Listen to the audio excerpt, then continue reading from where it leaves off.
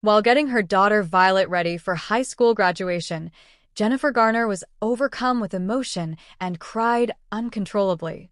Pictures of the ceremony show Garner, who attended with ex-husband Ben Affleck, weeping in an auditorium.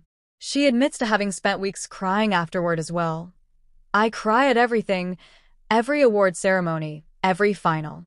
However, on that day, she felt proud and happy about her daughter's achievement, a feeling impossible to describe according to the actress herself. On Today with Hoda and Jenna, Jennifer was accompanied by her mother, Patricia Ann Garner, known as Pat. Like Jennifer, Pat also experienced emotional turmoil upon the departure of all three daughters from home. She revealed to hosts Hoda Kotb and Sheinelle Jones that she felt devastated during the entire month leading up to their farewell. Though graduation day wasn't too bad for Pat, watching them leave for college brought on a whole new level of sadness, especially when it came time for Jennifer's turn to go off into the world alone. The thought that this maybe goodbye forever left her inconsolable, reduced to tears at just the mention of it now.